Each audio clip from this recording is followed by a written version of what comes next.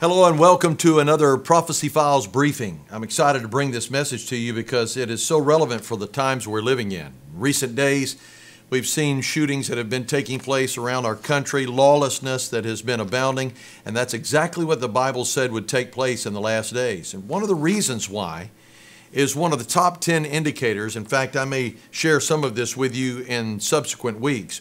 One of the top 10 indicators that we're living in the last days and we're living on the edge of the coming of the Lord is the fact that there would be a vacuum for a world leader. We've got plenty of world leaders that are trying to posture for position, but I can tell you right now, none of them are going to fit the role that is needed in order to step on the scene and be able to speak the words that actually bring uh, peace and can straighten things out in our economy and our world with the wars and rumors of wars and all that is happening. In fact, from this article, the dawn of a new alliance of nations as U.S. power fades. This, along with many other articles, are letting us know that we're watching as America's influence in the world is declining. Now, the Bible has a lot to say about this, but I'll share with you from the book of uh, Matthew chapter 24, verse 24, the Bible said there have been many false Christs that would come, false prophets, showing wonders in the last days. And here's the key deceiving many.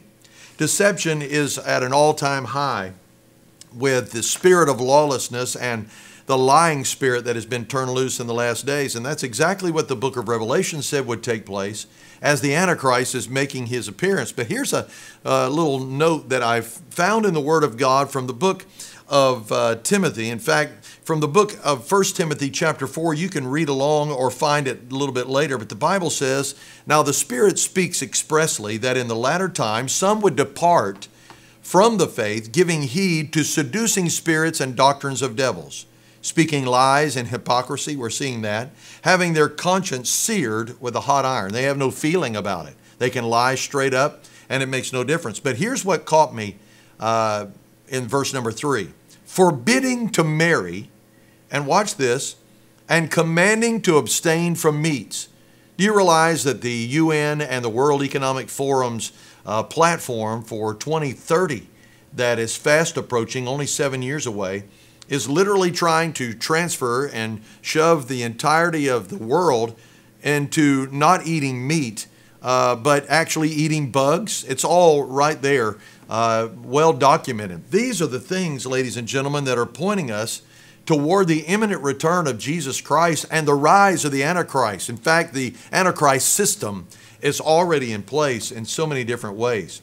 Uh, you can see what's happening in our world by uh, folks that are environmentalists that are saying to us, hey, you've got to embrace the environment and not have so much of a carbon footprint. But when it comes to uh, East Palestine, Ohio, where there's been one of the greatest environmental uh, disasters that has taken place through that train that was derailed, there seems to be no concern.